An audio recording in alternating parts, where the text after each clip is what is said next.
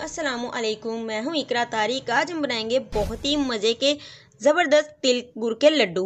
यानी कि तिल के लड्डू ये बहुत मज़े के बनते हैं और बहुत ज़्यादा टेस्टी होते हैं। तो चलिए शुरू करते हैं और बनाते हैं अपने ज़बरदस्त से तिल के लड्डू।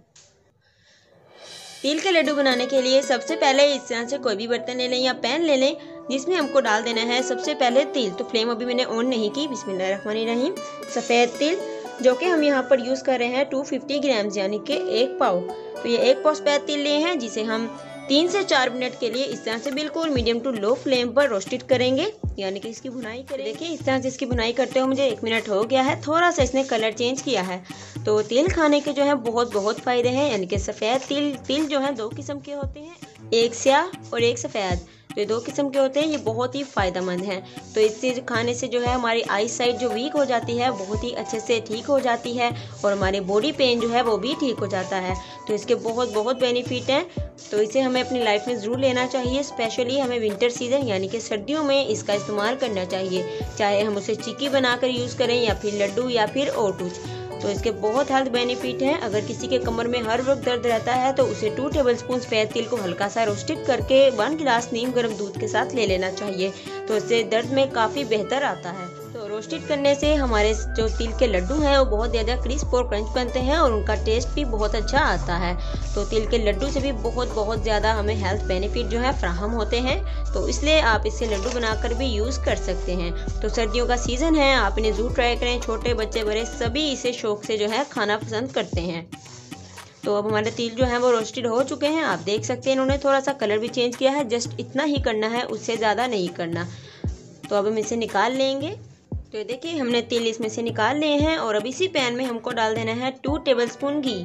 तो हम बनास्पति घी का यूज़ कर रहे हैं। आप चाहें तो देसी घी का भी कर सकते हैं, जिसे अच्छे से हमने मेल्ट कर लिया है फ्लेम को मीडियम टू लो रखते हुए।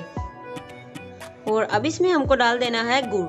तो गुड़ आप कोशिश कीजिएगा, इस कलर का यूज़ कीजिएगा। फिर तिल के लड्डुओं में जो बहुत ही अच्छा कलर आता है तो यहाँ पर गुड़ भी हम यूज़ कर रहे हैं 250 ग्राम्स यानी कि एक पाव। तो याद रहे, जितना तिल लेना है, उतना ही गुड़ लेना है। इन दोनों की क्वांटिटी आपको इक्वली लेनी है।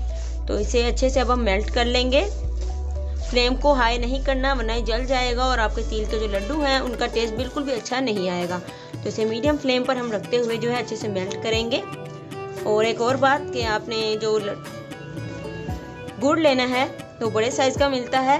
तो इस तरह से उसके छोटे छोटे से पीसेस कर ली जाए इस तरह से आराम से जो है गुड़ मेल्ट हो जाता है तो ब्लैक बिल्कुल भी नहीं होता।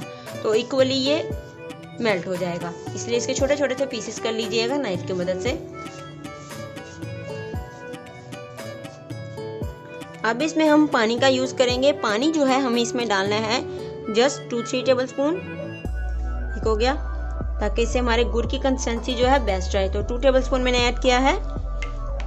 तो इसे अच्छे से मिक्स कर लेंगे और इसे अच्छे से मेल्ट कर लेना है।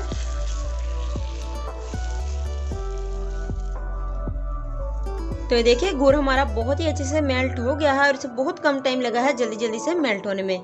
यानी कि जल्दी से ही मेल्ट हो गया।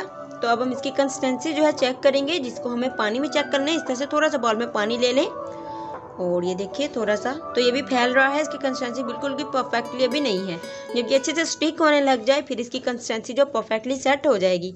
तो अभी इसे एक से दो मिनट और पकने देंगे। तो देखिए, गुड़ तो देखिए, गुड़ हमारा बहुत ही अच्छे से पक चुका है। अब दोबारा से हम इसे चेक करेंगे। इस तरह से। तो ये देखिए, अब ये पानी में फैल नहीं रहा। पहले ये फैल रहा था तो इसकी कंसिस्टेंसी बिल्कुल भी परफेक्टली नहीं थी। तो ये बिल्कुल अच्छे से सेट हो गया है। जब फैले नहीं, फिर इसमें हमें अपने तिल ऐड कर देने हैं। अगर हम इसे ज़्यादा स्टिक कर लेंगे तो बहुत ज़्यादा हमारे तिल के लड्डू हार्ड बनेंगे जो कि खाए नहीं जाते तो इसलिए बस इसकी यही कंसिस्टेंसी है। बिस्मिल्लाहिर्रहमानिर्रहीम। सारे तिल मैंने ऐड कर दिए हैं और अब इसे हम मिक्स कर लेंगे। फ्लेम को मीडियम ही रखेंगे हम। अच्छे से मिक्स करना है, जब अच्छे से ये तेल हमारे गुड़ में कोट हो जाए, फिर हम इसके लड्डू बनाएँगे। तो इस तरह से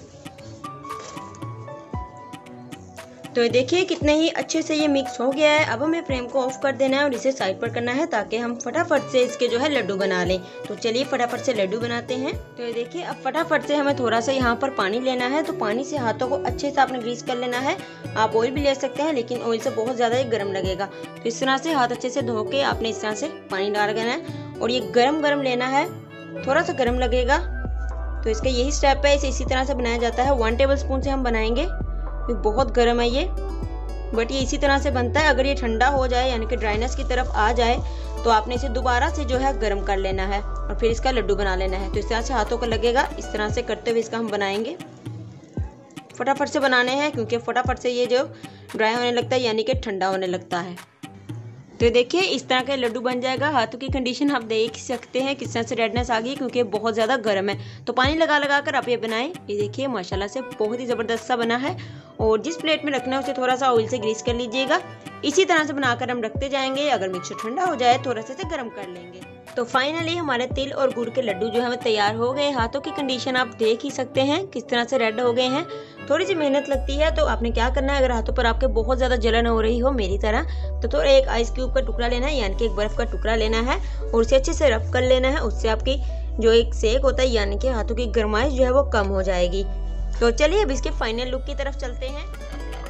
अल्हम्दुलिल्लाह, माशाल्लाह माशाल्लाह। तैयार हमारे बहुत ही ज़बरदस्त से तिल के लड्डू, यानी कि गुड़ और तिल के लड्डू। अगर आपको हमारी रेसिपी अच्छी लगे, वीडियो को मस्त लाइक और मस्त शेयर कर दिया करें और बेल आइकन के बटन को दबाना मत भूलिएगा। इससे आने वाली हमारी हर नई वीडियो पर वक्त आपको मिलती रहेगी। अल्लाह आप सबको अपने हिफ्ज अमान में रखे और हर बुरी मुसीबत से बचाए। आमीन। अल्लाह हाफिज़। Thanks for watching